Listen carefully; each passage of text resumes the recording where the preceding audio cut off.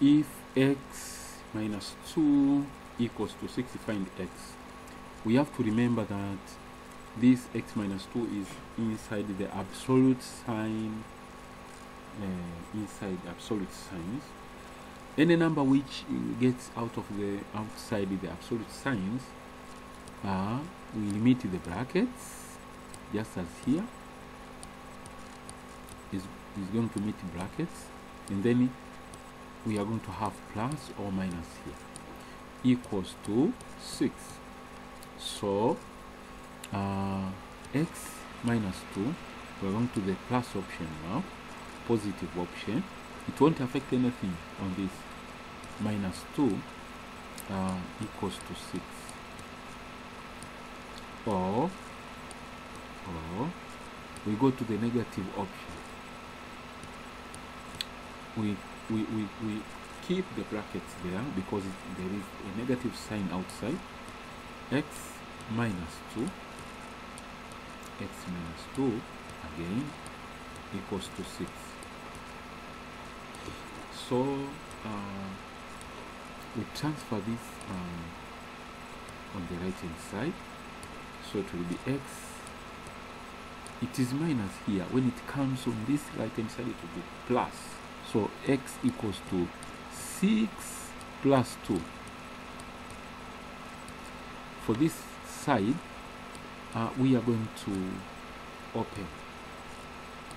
We are going to open the brackets. Negative 1 times x is negative x. Negative 1 times ne negative 2 is positive 2 equals to 6 uh, we suspend again this number on the right hand side. Uh, it is positive here. When it goes on the other side it will be negative. So uh, x equals to 8 on the left here on, on this part on the left side of course.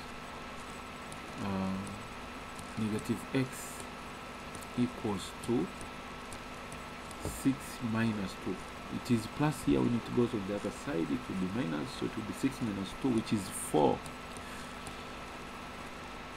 so x equals to 8 or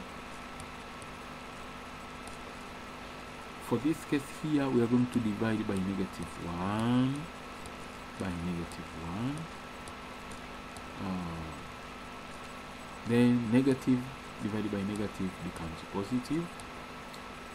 But here it is going to be negative 4 4 divided by negative 1 is negative 4 so x is equal to 8 or xc equals to negative 4 uh, so that is the end for this question and i hope you have understood.